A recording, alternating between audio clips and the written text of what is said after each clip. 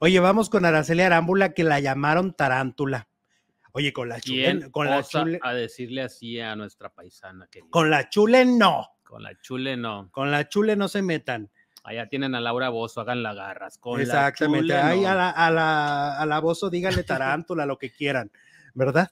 ¿Verdad? Sí, que la defiendan los peruanos, si es que la quieren. bueno, Araceli fue víctima de violencia de género, fue llamada tarántula y hasta envidiosa después de estos comentarios que ella Mm. dio sobre Luis Miguel y Paloma Cuevas. Pero bueno, esto fue en un programa español. In- indignaron muchísimo, donde dieron su humilde opinión con tintes misóginos. Imagínate que hubiera sido, que no hubiera sido humilde. Exacto. no. La radiodifusora se llama Es Radio Ajá. y habló en su sección Crónica Rosa de las recientes declaraciones de Araceli Arámbula.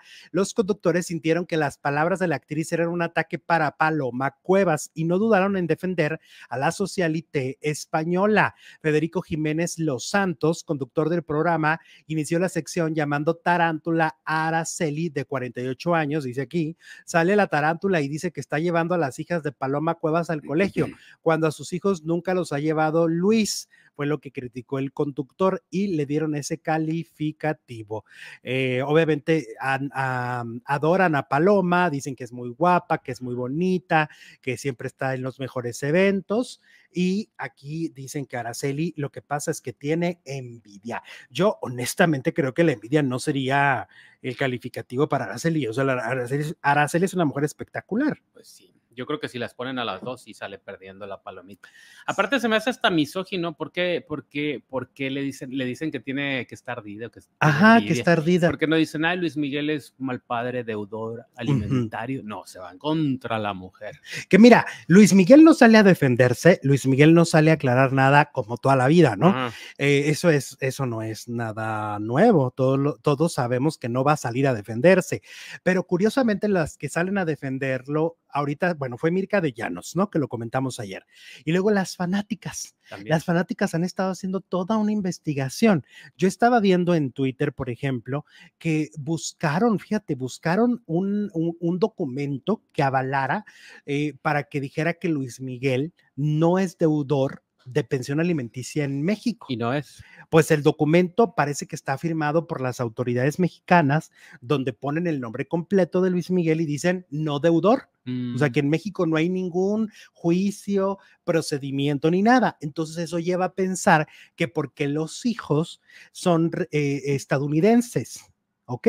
ok. Los hijos son de Estados Unidos y que entonces, según las fans de Luis Miguel, que te digo que ya han hecho toda una investigación, las fans han comentado que eh, es, en Estados Unidos, si él fuera deudor, no lo dejarían entrar al país y no lo dejarían este, eh, deber. O sea, es decir, tendría que ir directamente a los juzgados o a la cárcel.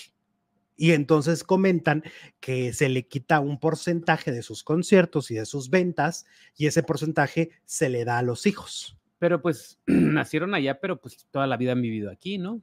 Van a la escuela aquí, viven aquí. Está raro. No, pero por ejemplo, mi hermana llegó a tener una pensión de Estados Unidos Ujú. y ella ni siquiera cruza. Ok. Ella nunca Porque cruzó. el papá era americano. Era residente de los Ah. Estados Unidos. Entonces a él, el gobierno de Estados Unidos le exigía una cantidad, pero ella ni siquiera ha cruzado nunca a Estados Unidos y Estados Unidos le daba una pensión a través del Pero consulado porque tu mexicano. mamá le hizo un juicio en Estados Unidos. Sí, Ah, a pues, través del consulado mexicano. No ha hecho ningún juicio, ni allá ni aquí, quizá. Que sepamos, ¿va? Que sepamos. Pero, Ya es que todo se sabe. pero bueno, Araceli dice es deudor.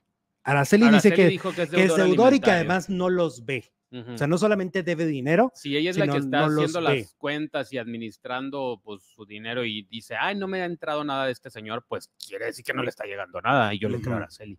Pero bueno, las fans son eso, tan fanáticas en este momento y lo siguen amando tanto que son capaces de estar investigando, pidiendo, eh, porque todo eso tiene un costo para que alguien, para que pueda sacar un documento donde dice no deudor, eso es un costo, es un precio, ¿no? El que tienes que pagar. Entonces, todo esto es lo que ha estado pasando entre Luis Miguel, que si Rey Cucaracho, que si Deudor, que si Paloma, que si Mirka, todo el mundo ya se metió en el escándalo. Así, así el chisme. Así las cosas. Bueno, pues arriba la chule. Arriba la chule. No me le digan tarántula, no sean así majaderos hediondos allá en España, ¿no? Pues no. No, no le digan tarántula. Más respeto, ¿eh? Sí. Más respetito con la chihuahuense. ¿Qué más?